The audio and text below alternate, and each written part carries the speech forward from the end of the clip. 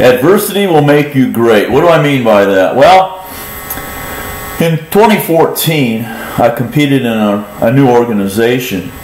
I set a uh, Illinois State deadlift record at 560 at 181.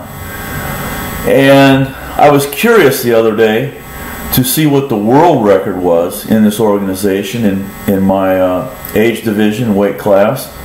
And I found it was 135. And I'm pretty sure, I've, I've seen this before, where these guys will go in and pay their fee and take a token lift just to, to win a trophy and say that they're the champion. And and that certainly doesn't build character, and it certainly doesn't build your body or your or your power lifts. It's just kind of being a weasel. Uh, I mean, I've actually been on stage next to somebody that's done that, and it's just it's very sad.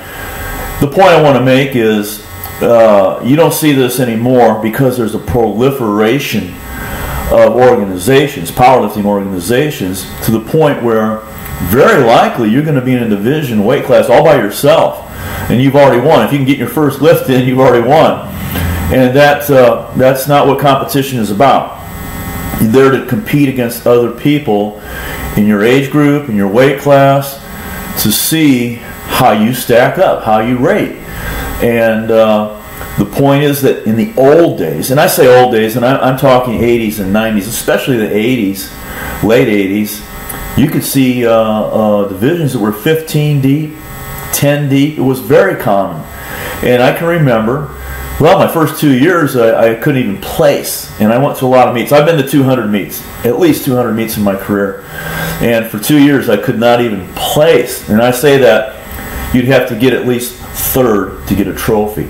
So uh, I didn't even get third. Like a lot of fourth place uh, placings. I won't say wins, placings, but never got a trophy. But I just kept at it.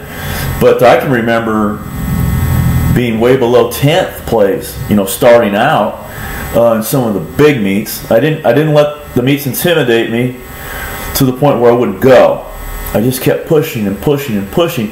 And when you have to fight your way to the top over the years, that builds character and that, that adversity uh, makes you a great lifter. You have to learn different techniques as to how to improve your lifts. You have to learn how to lift properly. And uh, assistance work, they'll improve your lifts. You have to learn diet, you know, nutrition, supplementation. And you become a master after, you know, 30, 40 years of doing that. But that's not going to happen now with these guys that are going into these meets and there's nobody to compete with. The other problem with guys that are young and competing right now or want to compete is they go to the internet for for advice from these personal trainers who themselves have never had a career.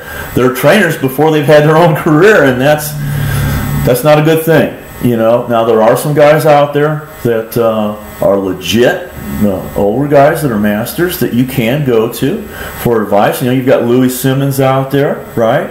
You've got uh, in bodybuilding. There's a lot of great uh, information on uh, Rick's Corner, Rick Drasin. He has a lot of, uh, of, different types of lifters, a lot of bodybuilders on his talk show.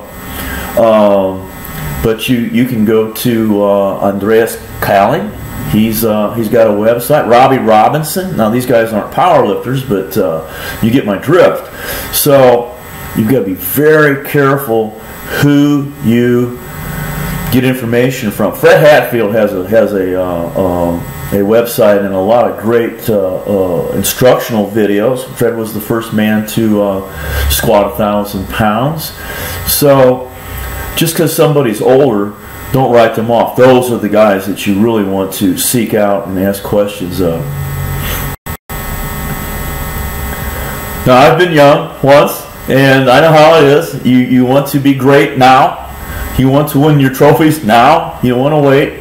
But really, time flies, and uh, you'll be looking back 20, 30, 40 years from now and, and uh, wishing you had done things differently what I would like to say to you is go for the big organizations, the older organizations. They have lots of members that uh, hold full power meets. You know, International Powerlifting Federation, IPF, that's number one. Uh, you know, the APF, American Powerlifting Federation, the big federations where you're not going to walk in there and get first place the first time you lift in a meet. But this will this will this will uh, develop you as a lifter and as a man or a woman, whatever you, whatever you happen to be. Uh, it will develop develop your character and the, the adversity, the, the the fight to get to the top will build build character and you'll build your knowledge so that when you are the age of a master, you will be a true master. You will have that master's knowledge, and uh, you will have a career that you can look back back on with pride